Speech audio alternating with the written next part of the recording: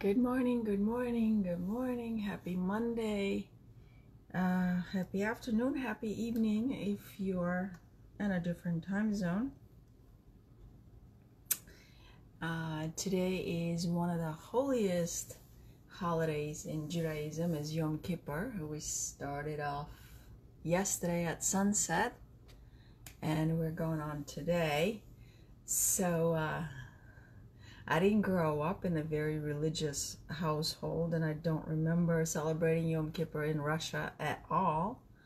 Um, my first Yom Kippur was in 1990 in New York. And the crash course for me was basically you cannot have any water, any food for an entire day from sunset to sunset. Um, you cannot make your bed. You cannot dress nice. You're supposed to wear um, white color. And you need to be out in nature, talking to people, asking for forgiveness uh, from anyone who is on your path that day or that year. And to summarize, you cannot do anything that you enjoy. Um, this is what was passed down to me from my parents at the time. Uh, not much has changed except that uh, I do my best, but I don't do it 100%. So the idea of not showering, I could handle not showering one day, but the idea of not brushing teeth, even though I'm not eating, no, screw that. The idea of not washing my face when I get up, no, uh, combing my hair, that's Yom Kippur for me every day. so there, there are some things that I like and I respect um, and I agree with, so I comply. There are some things that I'm not happily applying or, uh, you know, agreeing to, but to make it more challenging for myself, like not drinking water today normally I would be really, really, really against that. And it's like, no, no, no, no, no. Water is life. We need to have it. But um, to see how my body vibrates differently in a lack of fluid when it's a little bit more constricted, I don't know. Maybe I'm taking a whole different approach, and I'm thinking maybe it will bring up something different. Um, so what I'm saying is, in any for me in any body of teachings, in any um, philosophy, be it religion, be it home, be it family, be it culture. Um, you know, I'm not agreeing to it blindly. I pick and choose what fits, what doesn't. Where can I push my own limits and just experiment and experience something? And when it's abs- absolutely absurd for me and I'm not doing it. You know, part of the fast is also no TV, no electronics. I'm already violating it because I'm using the phone to broadcast this message. And I don't even know where it would apply in terms of doing the practice. Technically, um, people, I don't want to say celebrating this holiday, but participating, partaking in this fast, a Yom Kippur for today, is supposed to be a day devoted to studying. Um, so you study, you read religious scriptures, you read specific texts that you're supposed to read, uh, you, if you're Jewish, uh, on this day. Uh, which is again something I, I do almost every day. I read stuff, so I don't feel I don't know. And then suppose it says you're not supposed to do stuff that you enjoy. I enjoy reading, so that's hypocritical and contradictory already. Anyway, um, yeah, I was reading some of it in Russian last night to my dad. It did not resonate with me at all. But anyway, enough of that, and hopefully everyone's arrived and settled. We are going to tune in and do our fists of anger and our meditation. So I guess the long story I was making is that I'm working today without water and I don't know how this is going to go, but I'm I'm going to find out. So bringing the hands into prayer mudra in front of the heart center. And let's inhale deeply as we lengthen our spine. And exhale.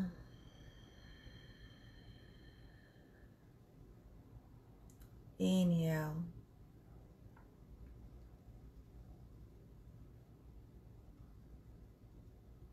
Exhale.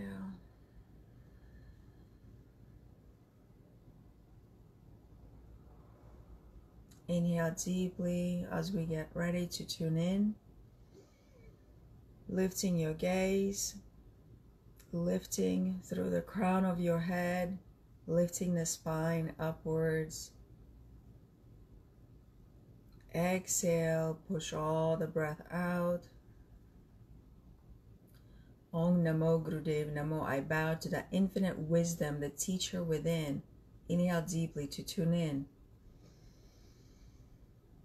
Om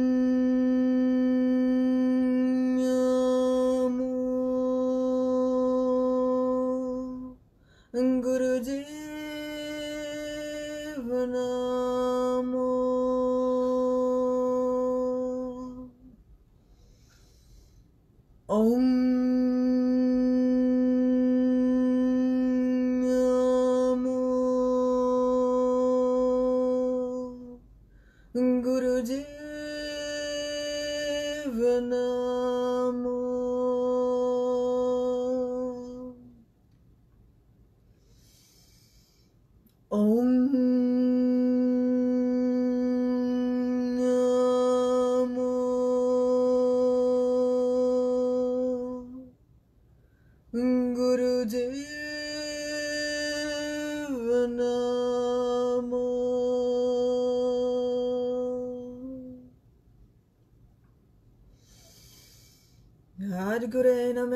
Name, Jagadgure Name, Sadgure Name, Sri Gurudeve Name. Adgure Name, Jagadgure Name, Sadgure Name, Sri Gurudeve Name. Adgure Name, Jagadgure Name, Sadgure Name, Sri Gurudeve Name. Deeply inhale, suspend the breath, pull the root lock, keep the gaze to the brow po- point.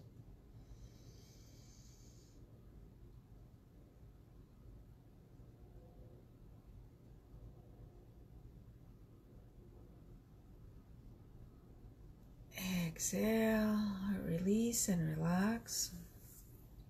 Okay, so here we go. Fists of anger, releasing the energy of anger, transmuting it. It's it's really what what is the purpose? I use different words because different people will resonate with different messages, and so, but I also want to um, get across the idea that the possibilities of what you're doing are so vast um, that I just even these three words transform, transmute, release, um, and express. So for um, there is so much more that you're doing. This is an alchemy process. This is, uh, you know, you using the power, the energy that you have, and making it work for you. Uh, you go recycling if you want. That's also recycling. So, for me right now, for today, will be the expression. Uh, I missed my class yesterday that I uh, uh, signed up for, and I am totally bummed about it. And because there's no recordings, it's just gone. And I mixed the time zones, so I'm really pissed. Who am I pissed at?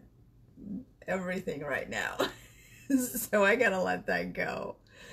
Um, squeezing the thumb with all your fingers where the thumb tip is pressing on the mount of the pinky.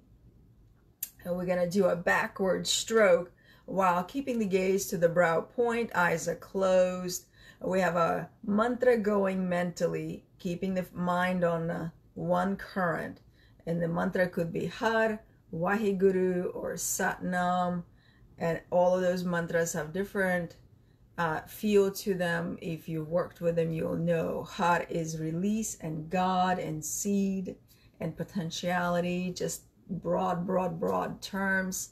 Satnam is truth is my identity, and Waheguru, ecstatic bliss while in the union with the infinite, merging with the infinite and being in ecstasy with that. That's um, a tantric mantra. The union between your feminine and masculine could also be Waheguru. Uh, so, powerful breath of fire through the O shaped mouth. Working the navel and diaphragm is supporting. We want to pull the belly button towards the spine. And it's a little pulse. You don't have to make it too intense as long as it's rhythmic. Uh, so on every stroke of the fist back is an exhale so that you that helps you set the rhythm and the pace. But we're holding the gentle root lock, remaining in our body, and really not thinking about it, but really focusing on the body. If you didn't have a mind and the body just had the mind of its own, which it does, um, just allow your body to move on its own without regulating um, in the mind so much. Um, just let it let it go The women on menstrual cycle or pregnant will be utilizing long deep breath instead, but you could certainly do the movements. All right, so here we go. We're to sit in with a nice deep posture, taking a deep inhale. And then let's set in with the breath.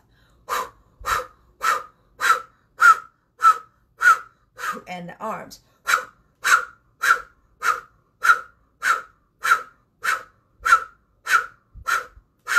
So it could be hut, hut, hut, hut, or sat, nam, sat, nam, sat, nam, wahe, guru, wahe, guru, wahe, guru. So choose what you like and go let it all out.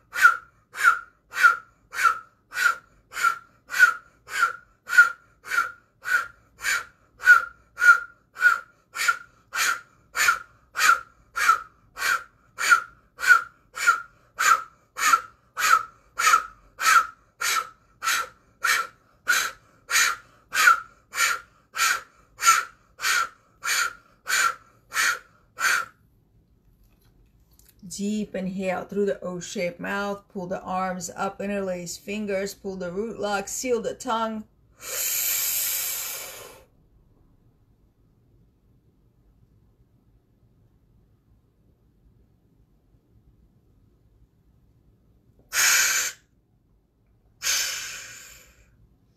Again.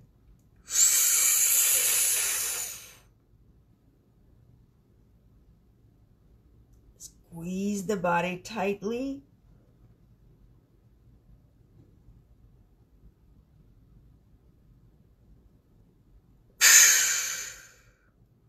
Last one.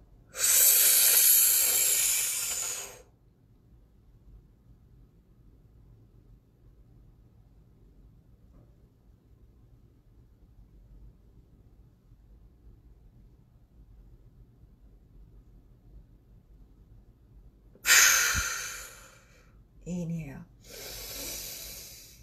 Sweep the arms out to the side, bring them to rest on your knees or your lap.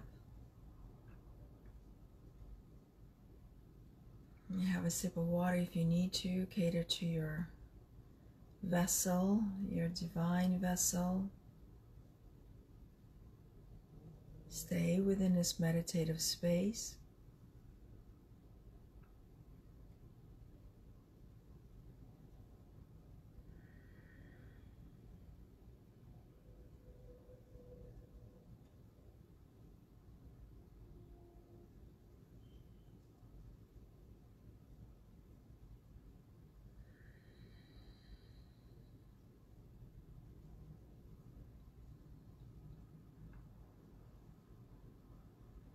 Let's take a deep inhale. A sigh or an exhale. Again, giving your body what it craves. Inhale. Exhale.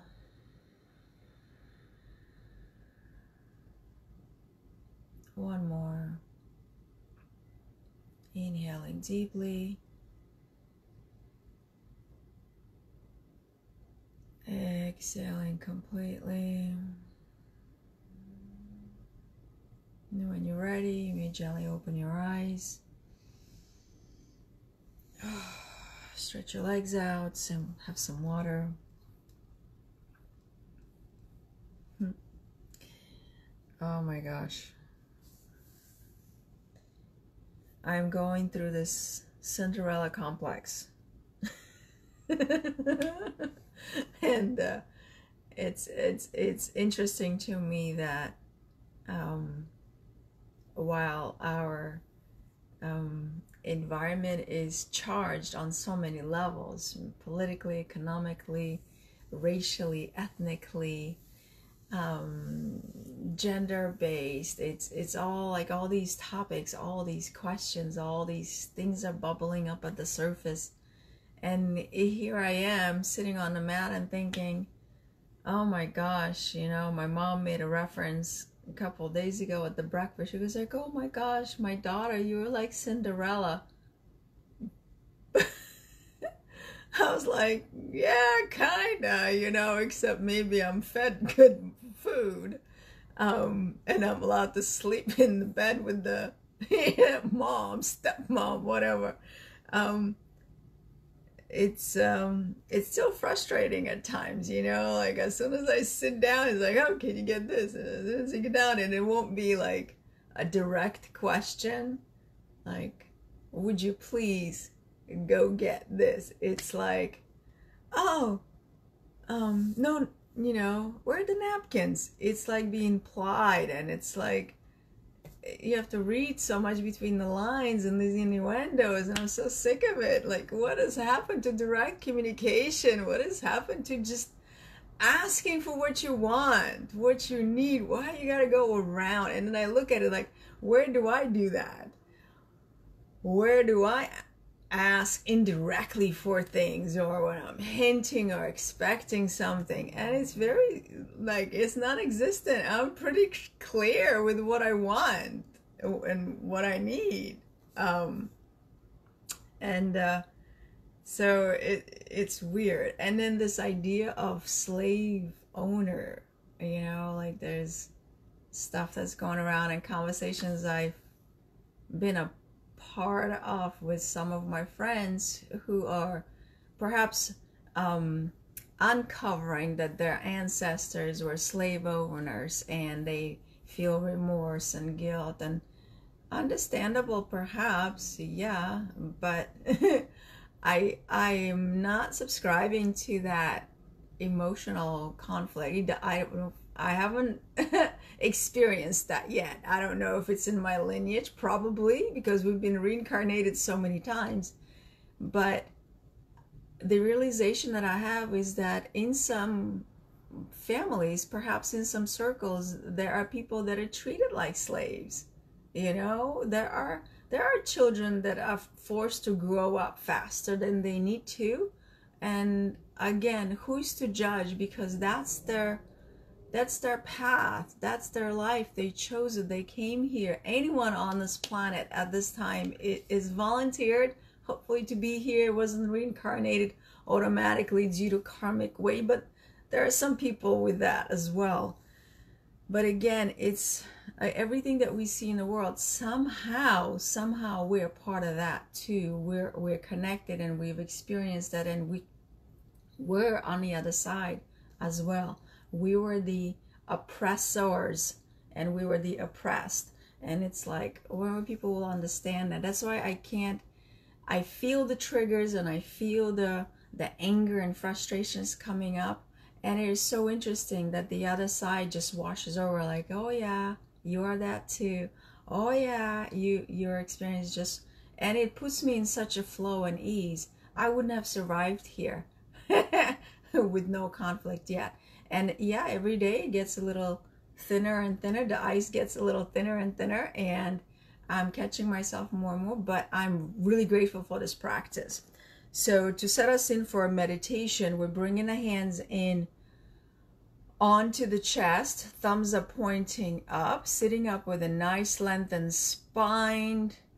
Your hips are relaxed. Hopefully you're sitting on a um, supporting surface, cushion or pillow or chair. Chin tucked, chest lifted, heart open. You're courageous and vulnerable. Eyelids are closed, 9 tenth or fully closed, focusing at the brow point the meditation to release or witness inner conflicts based on breath. Inhale deeply first.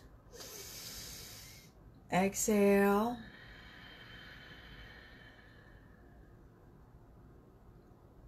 And let's inhale deeply, slowly for five counts. Exhale slowly fully for five counts and suspending the breath out for 15 counts, comfortably holding your lifted posture, being totally still and relaxed, coming to that place of serenity that exists within you at any moment, at all times and continue the cycle. Inhaling deeply, exhaling, watching your chest rise and fall, watching your body move and dance with the breath.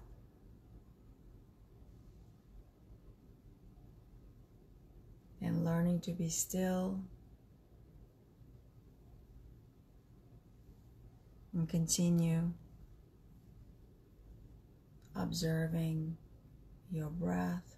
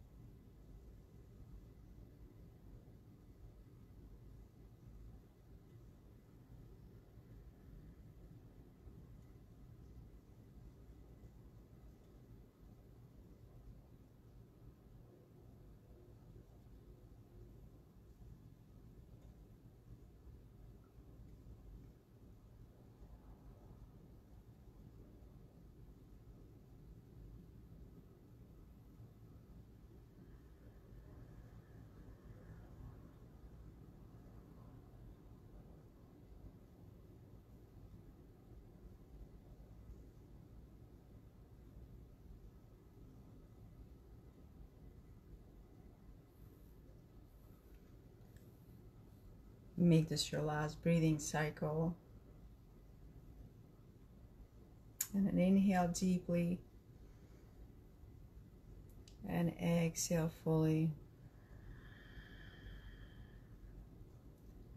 Inhale, stretch your arms up, pull the breath all the way down into the root chakra. Pull the root lock.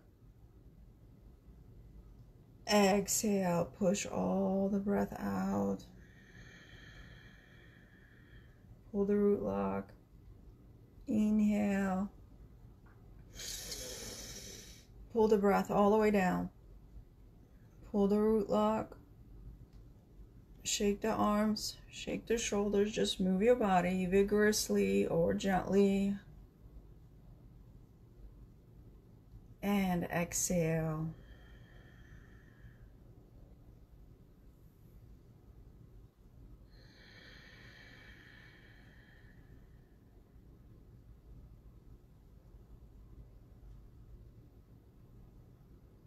Inhale deeply. And exhale.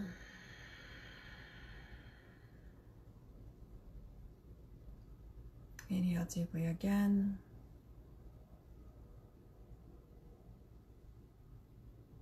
A sigh or an exhale.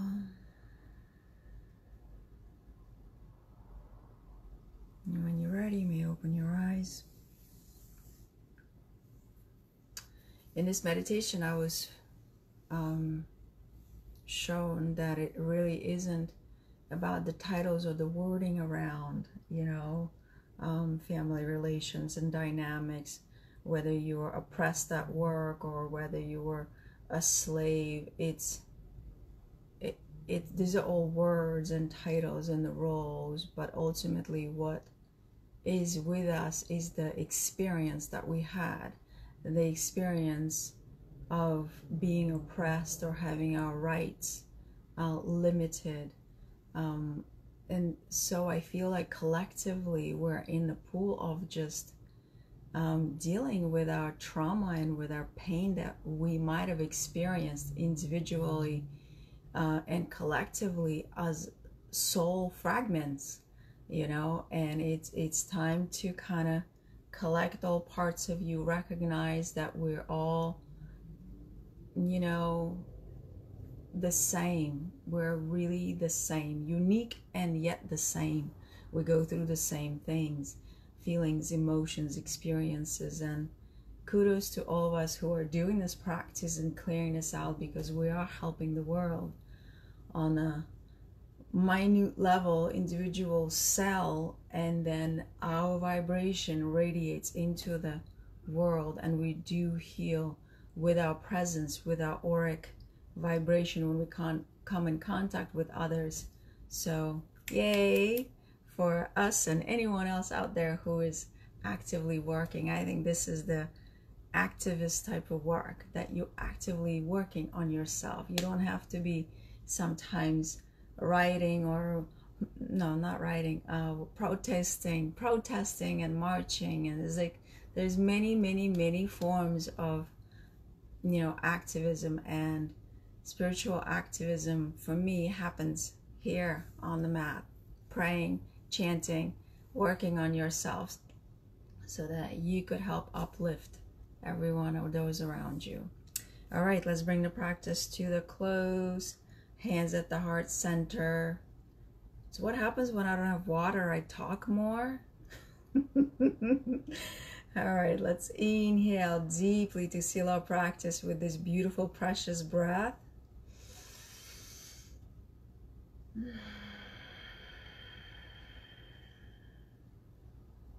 And now inhaling deeply to seal this practice with truth being our identity.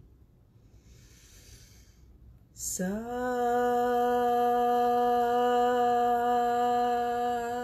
Nam. Sat Nam. Big truth, small identity. Sat Nam. Thanks for listening and thanks for participating. And I wish you a wonderful day, and I will see you tomorrow. Sat Nam.